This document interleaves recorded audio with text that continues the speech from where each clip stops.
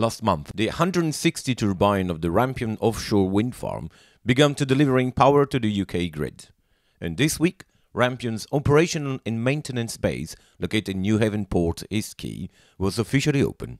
The operations and maintenance base and the whole Rampion uh, project has been years in the making. So we, we see the, uh, the finished product today, but you know, uh, thanks to E.ON, to Newhaven Town Council, to Lewes District Council, to the Port Authority, uh, you know, we wouldn't be here today if it wasn't for all their hard work and many, many others behind the scenes. I was a, a councillor in Brighton in 2007 when we were actually talking about an offshore wind farm and permission was, was granted from the various councils along the coast to, to make this happen. So a lot of work has gone in, uh, uh, in on this over uh, many, many years.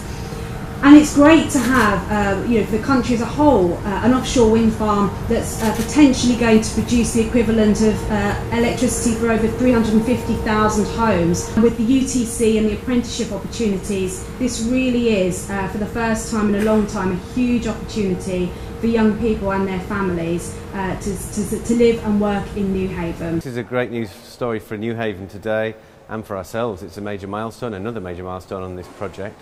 So what we have is the operations base. This is the, the nerve centre, if you like. This is where we will be managing and operating, maintaining and servicing the wind farm from. So what you've got here is, you can see behind me is a warehouse, lots of safety gear here, lots of component parts, and on a daily basis you will have teams of wind turbine technicians who will pick up the gear they need from the warehouse, go just where we've just been now, uh, to the pontoons, uh, get into a, a crew transfer vessel and transit to site. And then they'll spend that day uh, servicing a particular turbine. So they'll uh, get on board the turbine, uh, ascend the, the turbine tower via a lift, and then they'll do whatever work that they have to do there to keep the turbines in good working order. It's, about, it's an annual servicing program. Um, and then you might, it might take one, two, or even three days to service a particular uh, uh, turbine.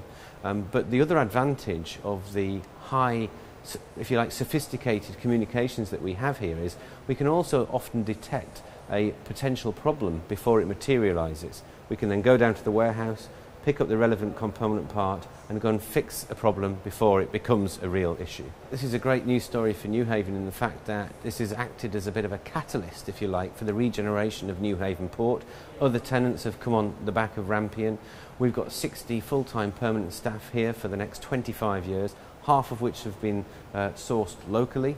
We've also got already six uh, apprentices. We're ultimately aiming for 25% of the turbine technician workforce to be apprentices, and so far the majority of those have been sourced locally as well. So it's a real positive story, I think, for Newhaven Port and Newhaven Town. We work closely with the University Technical College in Newhaven. Um, so as well as the apprentices, we also we go and talk to uh, younger students from the age of uh, 14 upwards um, about how they can get involved in engineering, how they can get involved in offshore wind. Um, so we go and give talks, we also let them come here and see the facility and shadow our staff. So really trying to work you know, with the local education establishments as well. This is Julio Ranieri for Latest TV News.